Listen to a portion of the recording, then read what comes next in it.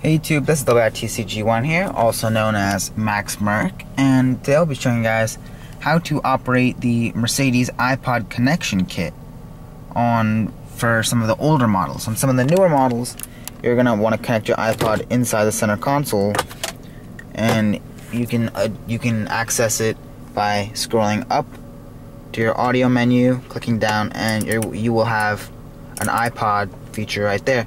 But for older cars, like this car, which is a 2008 C300, what you're going to want to do is take your iPod Nano or iPod Classic, and I am not sure what other iPods um, are compatible with this, but and then you're just going to want to go ahead and plug it in.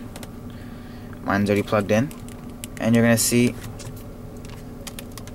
when you first plug it in, you're going to see it will have the Mercedes logo on the screen, as I will show you right now in a second. So once you go ahead and connect it in, there we go, it's on. I'm going to go ahead and connect it in. You're going to see the Mercedes, Mercedes logo come up on the screen. And then after that, you can just leave it inside your glove compartment and it will charge while the car is on. And you can leave it on hold if you'd like, which I do. So I'm just going to leave that in there. And it's a little bit confusing for the older models like this. The interface is a lot different from the 2010 and later models. So what you're going to want to do is using your control knob, you're going to want to go up to audio, push down, and go to auxiliary.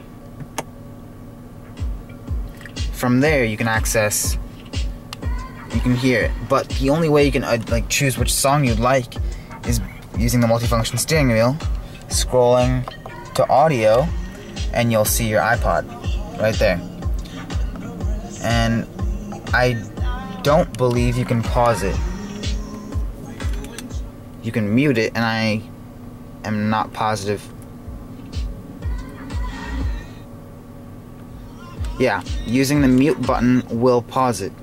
On um also on updated command modules, I went to the dealership and I had my command updated, the software, and now I have this volume boost mode. For cars that don't have this, it will just be on standard and you will have to turn up the volume. For some reason, I don't know why Mercedes designed it like that, but if you get your command software updated, you can go right here push down and it will boost the volume. You can also adjust your surround sound settings in here.